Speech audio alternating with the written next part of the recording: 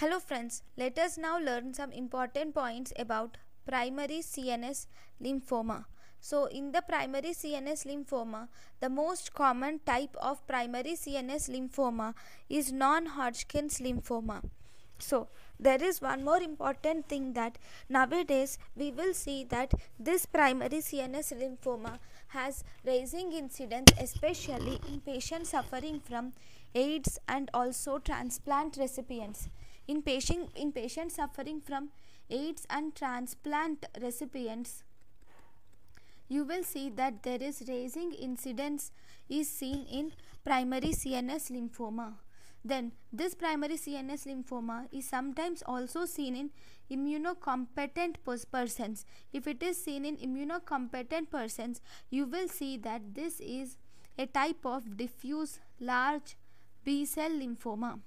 This is a type of diffuse large B cell lymphoma. Then if you see in immunocompromised persons, in immunocompromised persons, this primary uh, CNS lymphoma is in the size is in the uh, is a, is about is is in the is uh, uh, large cell lymphoma with immunoblastic and aggressive features so it um, histologically represents large cell lymphoma with immunoblastic and aggressive features so this primary CNS lymphoma is also called as ghost ghost cell lymphoma or ghost cell tumor due to the partial or complete resolution on CT scan after steroid administration.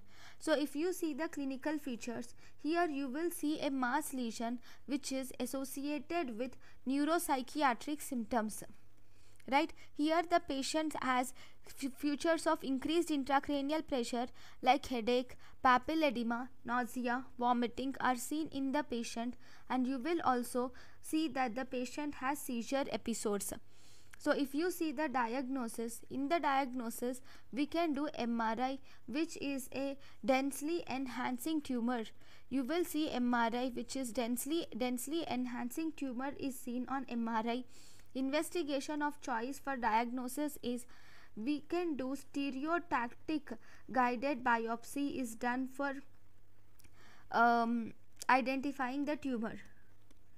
But one important thing is the steroids should be withheld before you do the biopsy. Steroids should be withheld before the biopsy. Okay next.